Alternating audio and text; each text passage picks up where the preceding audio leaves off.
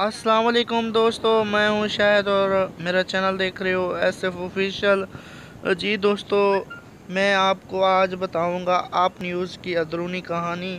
یہ کس وجوہات کی بنا پر یہ چینل آج رات کو بند ہو رہا ہے؟ جی چیئرمین ملک ریاض کا طرف سے تمام کارکنوں کو اطلاع دی جاتی ہے کہ ناگریس قانون اور تنقیدی وجوہات کی بنا پر آپ نیوز اردو چینل کو چلانا ممکن نہیں۔ یہ میں ملک ریاض کا تحریری جواب آپ کو بتا رہا ہوں۔ اس لیے فوراً طور پر آج گیارہ اپریل سے آپ نیوز کی نشریات بند کی جا رہی ہے۔ ٹھیک ہے دوستو، یہ ملک ریاض کا بیان آیا ہے۔ انتظامیہ نے فیصلہ کیا ہے کہ آپ نیوز کے بلا واسطہ تمام کارکنوں کی واجبات ادا کیے جائیں گے، جس کے تحت مارچ کے تمام تنخواہیں چودہ سے پندرہ اپریل تک ادا کی جائیں گی۔ ٹھیک ہے دوستو؟ اچھا جی جن دوستوں نے میرے چینل کو ابھی تک سبسکرائب نہیں کیا، وہ جلدی جلدی گھر لیں آگے بڑھنے سے پہلے اپریل سے گیارہ مئی کے نوٹس پرنٹ کی تنخواہیں بھی اکیس سے بائیس اپریل تک ادا کی جائیں گی۔ ٹھیک ہے دوستو؟ اس کے علاوہ چیئرمین ملک ریاض نے کارکنوں کو مشکل مشکلات کے پیش نظر گیارہ مارچ کے بعد اگلی تین ماہ کی بھی تنخواہ ہر ماہ کی پانچ تاریخ کو ادا کرنے کا فیصلہ کیا ہے۔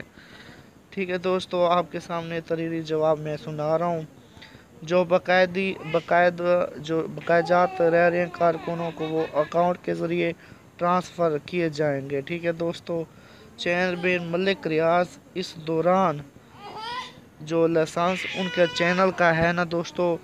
اس پر وہ اپنا ایک نیا چینل شروع کریں گے، ٹھیک ہے دوستو؟ اس کا نام ابھی تک نہیں ہے، یہ ہوا۔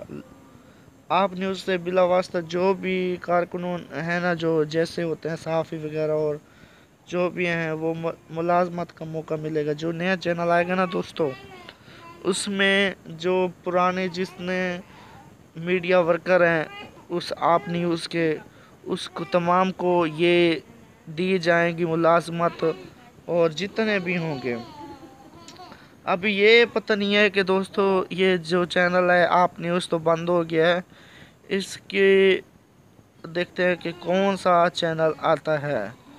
تو یہ ایک میڈیا انڈسٹری سے ایک بہت ہی بری خبر آج چل رہی ہے کہ آپ نیوز آج بند ہو رہا ہے گیارہ اپریل کو، ٹھیک ہے دوستو؟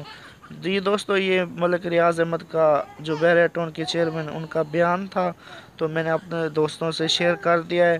تو ویڈیو کیسی لگی؟ ویڈیو اچھی لگی ہو تو شیئر کر دینا اور جو، جن دوستوں نے میرے سبسکرائب نہیں کیا چینل کو، وہ بھی کر دیں۔